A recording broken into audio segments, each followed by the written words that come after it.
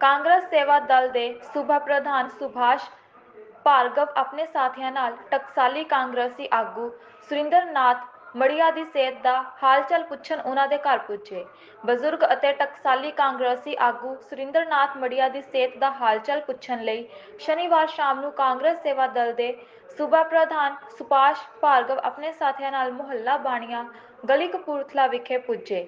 ਕਾਂਗਰਸ ਸੇਵਾ ਦਲ ਦੇ ਸੂਬਾ ਪ੍ਰਧਾਨ ਸੁਭਾਸ਼ ਭਾਰਗਵ ਨੇ ਕਿਹਾ ਕਿ ਸੁਰਿੰਦਰਨਾਥ ਮੜੀਆ ਕਾਂਗਰਸ ਦੇ ਵਫਾਦਾਰ ਸਿਪਾਹੀ ਹਨ ਜਿਨ੍ਹਾਂ ਨੇ ਸਾਰੀ ਜ਼ਿੰਦਗੀ ਕਾਂਗਰਸ ਦਾ ਝੰਡਾ ਬੁਲੰਦ ਰੱਖਿਆ। ਪਿਛਲੇ ਕਾਫੀ ਸਮਿਆਂ ਤੋਂ ਗੁਰਦਿਆਂ ਦੀ ਬਿਮਾਰੀ ਕਰਕੇ ਉਹ ਬੈੱਡ ਰੈਸਟ ਤੇ ਹੀ ਹਨ ਜਿਸ ਕਰਕੇ ਉਹਨਾਂ ਨੂੰ ਮਿਲਣ ਅਤੇ ਉਹਨਾਂ ਦਾ ਹਾਲ ਚਾਲ ਜਾਣਨ ਲਈ ਅੱਜ ਅਸੀਂ ਉਹਨਾਂ ਦੇ ਨਿਵਾਸ ਸਥਾਨ ਤੇ ਪੁੱਜੇ ਹਾਂ।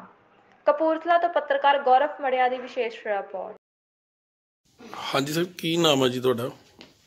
ਮੈਂ ਸੁਭਾਸ਼ ਭਾਰਗਵ ਪ੍ਰਦੇਸ਼ ਕਾਰਜਕਾਰੀ ਪ੍ਰਧਾਨ ਪੰਜਾਬ ਪ੍ਰਦੇਸ਼ ਕਾਂਗਰਸ ਸੇਵਾ ਦਲ।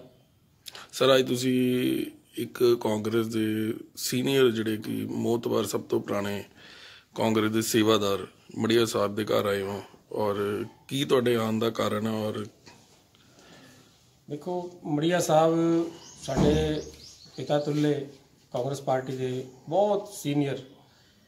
ਮਤਲਬ ਸੀਨੀਅਰਟੀ ਦੀ ਗੱਲ ਕਰਾਂ ਤਾਂ ਮੇਰਾ ਖਿਆਲ ਹੈ ਪਿਛਲੇ 50-60 ਸਾਲ ਤੋਂ ਵੀ ਵੱਧ ਇਹਨਾਂ ਨੇ ਪਾਰਟੀ ਦੀ ਸੇਵਾ ਕੀਤੀ ਹੈ। ਅਸੀਂ ਤਾਂ ਛੋਟੇ-ਛੋਟੇ ਹੁੰਦੇ ਸੀ ਜੋ ਅਸੀਂ ਤਾਂ ਹੋਸ਼ ਸੰਭਾਲਿਆ ਹੈ।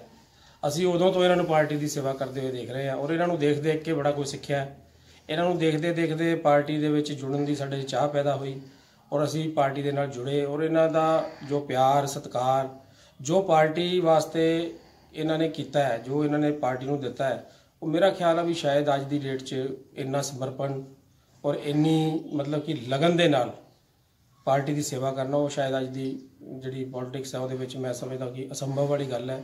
ਬੜੀ ਸ਼ਿੱਦਤ ਨਾਲ, ਪੂਰੀ ਮਿਹਨਤ ਨਾਲ, ਲਗਨ ਨਾਲ ਇਹਨਾਂ ਨੇ ਪਾਰਟੀ ਦੀ ਸੇਵਾ ਕੀਤੀ ਹੈ। ਅੱਜ ਕੁਝ ਦਿਨ ਪਹਿਲਾਂ ਸਾਨੂੰ ਪਤਾ ਲੱਗਿਆ ਸੀ ਵੀ ਥੋੜੇ ਬਿਮਾਰ ਜ਼ਿਆਦਾ ਨੇ। ਤਾਂ ਅੱਜ ਅਸੀਂ ਉਹਨਾਂ ਦਾ ਹਾਲ ਚਾਲ ਪੁੱਛਣ ਲਈ ਉਹਨਾਂ ਦੇ ਗ੍ਰਹਿ ਨਿਵਾਸ ਇੱਥੇ ਆਏ ਆ ਔਰ ਪਰਿਵਾਰ ਨੂੰ ਮਿਲੇ ਆ ਪਰਿਵਾਰ ਨੂੰ ਵੀ ਮਿਲ ਕੇ ਬੜਾ ਮਨ ਨੂੰ ਲੱਗਿਆ ਕਿ ਪਰਿਵਾਰ ਬੜੀ ਸੇਵਾ ਕਰ ਰਿਹਾ।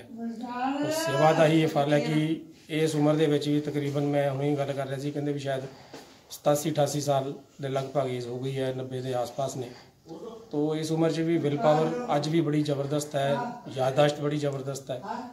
ਸੋ ਮੈਂ ਇਹੀ ਕਹੂੰਗਾ ਕਿ ਪ੍ਰਮਾਤਮਾ ਇਹਨਾਂ ਨੂੰ ਤੰਦਰੁਸਤੀ ਦੇਵੇ ਕਿਸ ਤਰੀਕੇ ਦੀ ਤੁਸੀਂ ਕਿਸ ਤਰੀਕੇ ਦੇ ਨਾਲ ਉਹਨਾਂ ਦੇ ਉਹਨਾਂ ਦੇ ਪਰਿਵਾਰ ਦੀ ਔਰ ਉਹਨਾਂ ਦੀ ਹੌਸਲਾ ਅਫਜ਼ਾਈ ਕੀਤੀ?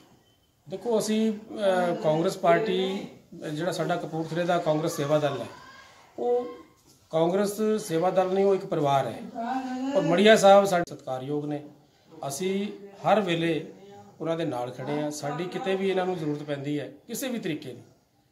ਜਿਸ ਵੀ ਲੈਵਲ ਦੀ ਕੋਈ ਲੋੜ ਹੈ, ਉੱਥੇ ਕਾਂਗਰਸ ਸੇਵਾ ਦਲ ਦਾ ਪੂਰਾ ਪਰਿਵਾਰ, ਇਹਨਾਂ ਦੇ ਪਰਿਵਾਰ ਦੇ ਨਾਲ ਖੜਾ ਹੈ। ਅੱਧੀ ਰਾਤੀ ਸਾਨੂੰ ਆਵਾਜ਼ ਮਾਰਨ, ਅਸੀਂ ਜਿਸ ਜਿੱਥੇ ਵੀ ਕਹੋਗੇ, ਅਸੀਂ ਅੱਧੀ ਰਾਤੀ ਹਾਜ਼ਰ ਹੋਵਾਂਗੇ। ਤਨ ਮਨ ਧਨ ਦੇ ਨਾਲ ਇਹਨਾਂ ਦੇ ਨਾਲ ਖੜੇ। ਮੜੀਆ ਸਾਹਿਬ ਵੀ ਕਾਂਗਰਸ ਪਾਰਟੀ ਦੇ ਇੱਕ ਬਹੁਤ ਹੀ ਪੁਰਾਣੇ ਅਤੇ ਓਨੈਸਟ ਜਿਹੜੇ ਪਰਸਨ ਰਹੇ ਆ। ਔਰ ਤੁਸੀਂ ਆਪਣੀ ਕਾਂਗਰਸ ਪਾਰਟੀ ਦੀ ਜਿਹੜੀ ਯੂਥ ਉੱਠ ਰਹੀ ਆ ਯੂਥ ਦੇ ਵਿੱਚ ਕਈ ਤੁਹਾਡੇ ਵੱਲੋਂ ਅਹੁਦੇ ਵੀ ਵੱਡੇ ਜਾ ਰਹੇ ਆ ਹਨਾ? ਤੇ ਤੁਸੀਂ ਉਹਨਾਂ ਨੂੰ ਕਿਸ ਤਰੀਕੇ ਦਾ ਅਵੇਅਰਨੈਸ ਦੋਗੇ ਮੜੀਆ ਸਾਹਿਬ ਨੂੰ ਲੈ ਕੇ ਕਿ ਮਤਲਬ ਇਹਨਾਂ ਦੇ ਨਕਸ਼ੇ ਕਦਮ ਕਿਸ ਤਰੀਕੇ ਨਾਲ ਚੱਲ ਮੈਂ ਜਿਹੜੀ ਆਉਣ ਵਾਲੀ ਸਾਡੀ ਜਿਹੜੀ ਜਨਰੇਸ਼ਨ ਹੈ ਯੂਥ ਕਾਂਗਰਸ, ਚਾਹੇ ਉਹ ਯੂਥ ਕਾਂਗਰਸ ਹੋਵੇ, ਚਾਹੇ ਉਹ ਕਾਂਗਰਸ ਸੇਵਾ ਦਲ ਦਾ ਯੂਥ ਵਿੰਗ ਹੋਵੇ, ਚਾਹੇ ਕੋਈ ਵੀ ਸਾਡੀ ਪਾਰਟੀ ਦਾ ਕੋਈ ਵੀ ਵਿੰਗ ਹੈ, ਮੈਂ ਉਹਨਾਂ ਨੂੰ ਇਹੀ ਗੱਲ ਕਹਾਂਗਾ ਕਿ ਪਾਰਟੀ ਦੇ ਵਿੱਚ, ਸੰਗਠਨ ਦੇ ਵਿੱਚ ਜਿਹੜਾ ਪੋਲੀਟੀਕਲ ਜਿਹੜੇ ਸੰਗਠਨ ਹੁੰਦੇ ਆ, ਚਾਹੇ ਕੋਈ ਵੀ ਪਾਰਟੀ ਹੈ, ਕਾਂਗਰਸ ਹੈ ਜਾਂ ਹੋਰ ਕੋਈ ਲਾ ਲਓ, ਇਹ ਦਰਅਸਲ ਬਣੇ ਸੀ ਸੋਸ਼ਲ ਵਰਕਿੰਗ ਵਾਸਤੇ। ਇਹ ਸਮਾਜ ਸੇਵੀ ਸੰਗਠਨ ਸੀਗੇ। ਅੱਜ ਇਹਨਾਂ ਦਾ ਸਰੂਪ ਜਿਹੜਾ ਬਦਲਦਾ ਜਾ ਰਿਹਾ, ਵੱਧ ਤੋਂ ਬੱਤਰ ਹੁੰਦਾ ਜਾ ਰਿਹਾ, ਉਹਦੇ ਤੋਂ ਬਚਣ ਦੀ ਲੋੜ ਹੈ। ਮੈਂ ਇਹੀ ਉਹਨਾਂ ਨੂੰ ਸਾਰੀ ਜਿਹੜੀ ਨਵੀਂ ਜਨਰੇਸ਼ਨ ਨੂੰ ਇਹੀ ਕਹਾਂਗਾ ਕਿ ਸਮਰਪਣ ਦੀ ਭਾਵਨਾ ਪਹਿਲਾਂ ਆਪਣੇ ਅੰਦਰ ਰੱਖੋ। ਆਪਣੇ ਅੰਦਰ ਸਮਰਪਣ ਰੱਖੋ, ਸੰਤੋਸ਼ ਰੱਖੋ। ਜਿਹੜਾ ਬੰਦਾ ਆਪਣੇ ਅੰਦਰ ਸਬਰ ਰੱਖਦਾ ਹੈ ਔਰ ਪੋਲੀਟੀਕਲ ਕੋਈ ਵੀ ਐਕਟੀਵਿਟੀ ਨੂੰ ਸਮਾਜ ਦੀ ਸੇਵਾ ਸਮਝ ਕੇ ਕਰਦਾ ਹੈ, ਉਹ ਮੈਂ ਸਮਝਦਾ ਕਿ ਉਹਨੂੰ ਜ਼ਿੰਦਗੀ 'ਚ ਕਦੀ ਵੀ ਕੋਈ ਮਾੜਾ ਸਮਾਂ ਨਹੀਂ ਦੇਖਣਾ ਪੈਂਦਾ ਔਰ ਬਹੁਤ ਵਧੀਆ ਉਹ ਆਪਣੀ ਲਾਈਫ ਜੀਂਦਾ ਹੈ। ਜਿਹੜੇ ਬੰਦੇ ਪੋਲੀਟੀਕਲ ਸਿਸਟਮ ਨੂੰ ਆਪਣੇ ਫਾਇਦੇ ਲਈ ਜਾਂ ਸੋਚਦੇ ਆ ਕਿ ਇੱਕ ਕਾਰੋਬਾਰ ਇਹਨੂੰ ਸਮਝ ਕੇ ਆ ਜਾਂਦੇ ਆ, ਉਹ ਕੁਝ ਸਮੇਂ ਲਈ ਖੁਸ਼ ਰਹਿ ਸਕਦੇ ਆ। ਲੇਕਿਨ ਜ਼ਿਆਦਾ ਸਮਾਂ ਉਹਦੇ ਵਿੱਚ ਇੱਕ ਜਗ੍ਹਾ ਤੇ ਉਹਨਾਂ ਦਾ ਰਹਿਣਾ ਮੁਸ਼ਕਲ ਹੁੰਦਾ ਆ। ਉਹ ਤੁਸੀਂ ਦੇਖ ਹੀ ਰਹੇ ਆ, ਅੱਜ ਜੋ ਪੋਲਿਟਿਕਸ ਦੇ ਵਿੱਚ ਹੈਗਾ ਆਇਆ ਰਾਮ ਗਿਆ ਆਰਾਮ ਦੀ ਪੋਲਿਟਿਕਸ ਹੈ। ਉਹਦਾ ਕਾਰਨ ਇਹੀ ਹੈ ਕਿ ਜਦੋਂ ਤੁਸੀਂ ਫਾਇਦਾ ਲੈਣ ਵਾਸਤੇ ਪੋਲਿਟਿਕਸ ਦੇ ਵਿੱਚ ਆ ਜਾਂਦੇ ਹੋ, ਬਾਅਦ 'ਚ ਜਦੋਂ ਫਾਇਦੇ ਤੁਹਾਨੂੰ ਨੁਕਸਾਨ ਪਹੁੰਚਾਉਂਦੇ ਆ ਤੇ ਫਿਰ ਤੁਸੀਂ ਇੱਧਰ ਉੱਧਰ ਦੇਖਦੇ ਹੋ। ਉਹ ਚੀਜ਼ ਤੋਂ ਮੈਂ ਸਮਝਦਾ ਵੀ ਨੌਜਵਾਨਾਂ ਨੂੰ ਮੇਰਾ ਸੰਦੇਸ਼ ਹੈ ਕਿ ਉਹਨਾਂ ਨੂੰ ਬਚਣ ਦੀ ਲੋੜ ਹੈ ਇਹ ਤੋਂ ਬਚਣਾ ਚਾਹੀਦਾ ਔਰ ਸਮਰਪਣ ਔਰ ਤਿਆਗ ਦੀ ਭਾਵਨਾ ਦੇ ਨਾਲ ਪਾਰਟੀਆਂ ਦੇ ਵਿੱਚ ਆਉਣਾ ਚਾਹੀਦਾ। ਔਰ ਐਂਡ ਤੇ ਮੈਂ ਇਹੀ ਕਹਾਂਗਾ ਕਿ ਰਾਜਨੀਤੀ ਦੇ ਵਿੱਚ ਜੇ ਤੁਸੀਂ ਕੁਝ ਕਰਨਾ ਹੈ ਕੁਝ ਅੱਗੇ ਵਧਣਾ ਹੈ, ਤਾਂ ਸਿਰ ਦੇ ਉੱਤੇ ਬਰਫ਼ ਔਰ ਮੂੰਹ 'ਚ ਸ਼ੱਕਰ ਰੱਖਣੀ ਚਾਹੀਦੀ ਹੈ ਤਾਂ ਕਿ ਦਿਮਾਗ ਠੰਡਾ ਰਹੇ ਤੇ ਮੂੰਹ ਦੇ ਵਿੱਚੋਂ ਮਿਠਾਸ ਤੁਹਾਡੇ ਬੋਲੀ ਜਿਹੜੀ ਆ ਉਹਦੇ 'ਚ ਥੋੜਾ ਸ਼ਹਿਦ ਟਪਕਦਾ ਹੋਣਾ ਚਾਹੀਦਾ ਤਾਂ ਲੋਕ ਤੁਹਾਨੂੰ ਪਿਆਰ ਕਰਨਗੇ, ਲੋਕ ਤੁਹਾਡਾ ਸਤਿਕਾਰ ਕਰਨਗੇ।